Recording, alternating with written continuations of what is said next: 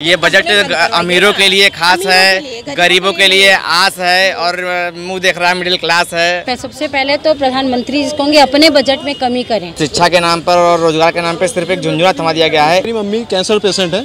अभी मैंने होमी बाबा डॉक्टर में कैंसर हॉस्पिटल में मैंने उनका इलाज करवाया। Sixty twenty twenty six thousand रुपये ओनली जाँच में लग गए। अभी मैं फ़ाइल लेके घूम रहा हूँ ऑपरेशन का डेट ही नहीं मिल रहा है। लाइव टीवी सच सबसे आगे। ये बजट कैसा है आपकी बार जो आया है? किसानों को लेकर, डीजल को लेकर वृद्धि हुई है। पेट्रोल ढाई रुपये महँगा हो गया और डीजल दो रुपये तीस पैसे महँगा हो गया।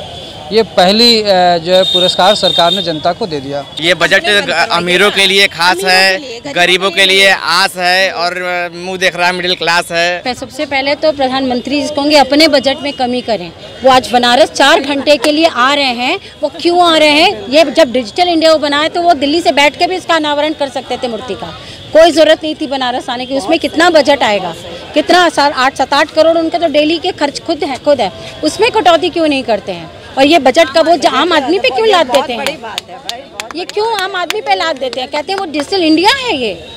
तो हमें मूर्ख बनाने की कोशिश ना करें जनता समझती है एक बार जिता दी दूसरी बार जिता दी तीसरी बार सोचे कि हो सकता है तीसरी बार ये भूल बैठ के पुलवामा की तरह कांड करके फिर से आ जाए कुछ ना कुछ बहाना करके आ जाते हैं जब उनकी नैया डूबने लगती है। आयुष्मान भारत का बोलते हैं तो अभी पेपर में दो दिन पहले निकला है कि दवाएँ नहीं मिल रही हैं। आयुष्मान कार्ड दे के लोग दवा नहीं दे रहे हैं। तो ये कैसा ये इंडिया बन रहा है? किस विकास की तरफ़ ले जा रहे हैं मोदी जी? मुझे इस समझ में नहीं आ रहा है शिक्षा के नाम पर और रोज़गार के नाम पर सिर्फ़ एक झुंझुना थमा दिया गया है। ये छः सालों का एक सिर्फ़ लच्छेदार भाषण है, जो कारपोरेट के लिखे हुए भाषण मोदी जी और निर्मला सीतारमण जी आके पढ़ के चली जा रही हैं। और आज हमारे सांसद जी आए हुए हैं बनारस में और हम उनसे कहना चाहते हैं कि प्लीज़ किसी भी, कुछ भी करिए, किसी भी तरह से शिक्षा और रोज़गार इन दोनों से युवाओं को प्रोत्साहित कीजिए। गैस का दाम इतना बढ़ता जा रहा है पेट्रोल बढ़ता जा रहा है डीजल बढ़ता जा रहा है खाने की चीज़ें बढ़ रही है दवाएँ महँगी हो रही हैं। एक मरीज़ जो अस्पताल में जब भर्ती होगा आयुष्मान कार्ड को लेकर के तब उसको सारी सुविधाएँ मिल पाएँगी। यही होमी भाभा कैंसर अस्पताल की मैं बात कर रहा हूँ। उस अस्पताल में भर्ती होने से पहले जितनी जांचें कराई जाती है उस जाँच में कम से कम 20 25 तीस हज़ार रुपये खर्चे होते हैं। वो खर्चा कहाँ से आएगा? मेरी मम्मी कैंसर पेशेंट है। अभी मैंने होमी बाबा डॉक्टर में कैंसर हॉस्पिटल में मैंने उनका इलाज करवाया। Sixty, twenty twenty six thousand रुपये ओनली जाँच में लग गए। अभी मैं फ़ाइल लेके घूम रहा हूँ, ऑपरेशन का डेट ही नहीं मिल रहा है। वो बोलते हैं, आप कमला नेहरू चले जाओ, कोई बोलता है आप पीजीआई लेके चले जाओ, कोई बोलता है आप ट्रामा सेंटर लेके चले जाओ।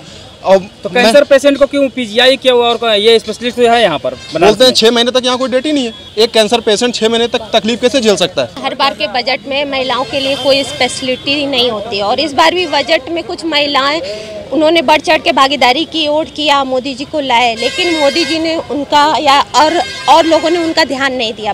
डीजल उन्होंने कल ढाई ढाई रुपया पेट्रोल दो रुपया तीस पैसा पेट्रोल बढ़ाया है और ये डीजल बढ़ाया है। सोचिए सारी चीज़ें ट्रांसपोर्ट से रिलेटेड होती हैं सारी चीज़ें ट्रकों से आती हैं तो ट्रांसपोर्ट जब महँगा होगा तो हम लोग का सामानें भी महँगी होंगी।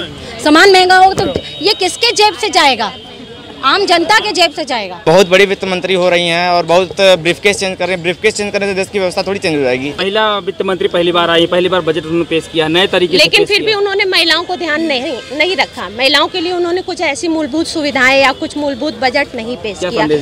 तो मैं यही यही संदेश दूँगी की महिलाओं को तो ध्यान में रखिए। एक आम आदमी एक गरीब आदमी एक बीमार आदमी एक बेरोजगार आदमी एक शिक्षक आदमी और एक बेरोजगार स्टूडेंट के बारे में भी ध्यान रखिए। शिक्षा से संबंधित भी कुछ चीज़ें होनी चाहिए स्वास्थ्य और हेल्थ से संबंधित होनी चाहिए। निर्मला सीतारमन जी ने कहा था कि पैंतीस हज़ार करोड़ रुपए एलईडी पैंतीस हज़ार करोड़ एलईडी बल्ब बटा है तो 125 करोड़ की आबादी में पर हेड 280 एलईडी बल्ब बटने चाहिए।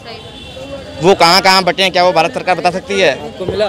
अब ये जब ढाई रुपये बढ़ाया है डीजल का और पेट्रोल का, सोचिए इस समय हर जनता के, अधिकतर लोगों के पास चाहे जैसे तैसे फाइनेंस से कैसे गाड़ियाँ हैं, उसका आप सोचिए पर डे की कितनी इनकम होगी, बिकेगा पेट्रोल, डीजल, कितना पैसा गवर्नमेंट के पास आएगा। तो ये तो अपना लोगों की जेब